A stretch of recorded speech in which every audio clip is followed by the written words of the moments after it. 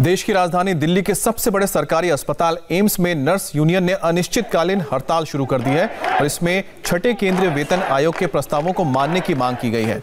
Nurse union का कहना है कि उनकी और कई मांगे हैं जिन्हें सरकार और एम्स प्रशासन नहीं मान रहे हैं। ऐसे में उनके पास हड़ताल पर जाने के अलावा कोई चारा नहीं बचा है। एम्स में 5000 नर्सिंग स्टाफ तैनात हैं और इनमें महिला और पुरुष नर्स दोनों शामिल हैं।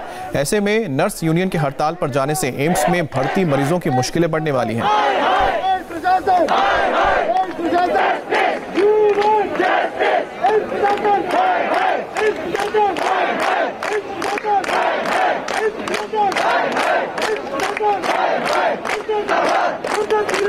तस्वीरें आप देख रहे हैं एम्स की है जहाँ पर जो नर्स तो उन्होंने हड़ताल कर दी है और नर्स यूनियन का कहना है कि छठे वेतन आयोग भी उनके ऊपर लागू किए जाएँ और साथ ही साथ उनके कई और मांग है जो एम्स प्रशासन नहीं मान रहा है। इसी वजह से उन्होंने ये हड़ताल करने का फैसला किया है। अनिश्चितकालीन हड़ताल के चलते अब वहाँ पर जो लोग एडमिट है, उनकी परेशानी बढ़ जाएगी।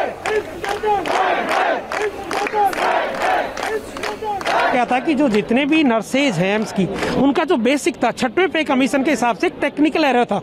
यानी उन लोगों को जो पैसा मिलना था, उससे कम पैसा दिया गया था। तो हमारे बार बार निवेदन के बाद भी इसको नहीं माना गया तो हमने स्ट्राइक की थी। मतलब एक पीसफुल प्रोटेस्ट किया था सत्याग्रह। उसमें इनकी समझ में आ गया था मंत्रालय को और मंत्री जी को। इन्होंने हमें लिख के दिया और उस पर काम हुआ। लोगों के फिक्सेशन हुए और लोगों को फाइनेंशियल बेनिफिट देना शुरू किया। लेकिन जैसे ही कोरोना आया, हम लोगों की सेवा में लग गए।